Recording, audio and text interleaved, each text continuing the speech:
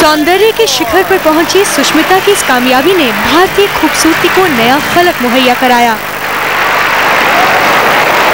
साधारण परिवार की सुष्मिता के साथ दमकते ताज से उन लड़कियों की आँखों में भी चमक आ गई, जो रैप के ज़रिए ज़िंदगी को हसीन बनाने का ख्वाब देख रही थी।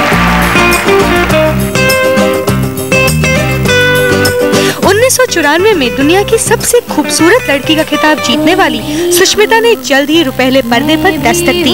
इसके बाद तो जैसे ये खिताब रैंप से बॉलीवुड के बीच ब्रिज की तरह बनता चला गया। तुमने जो देखा तो क्या जाने क्या गया?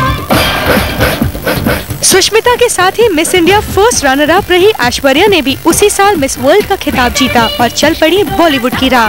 इसने तोड़ा झील सी नीली आँखों वाली इस लड़की ने मुंबईया फ़िल्मों में तो मज़बूत जगह बनाई ही, हॉलीवुड में भी अपनी मौजूदगी दर्ज करा दी।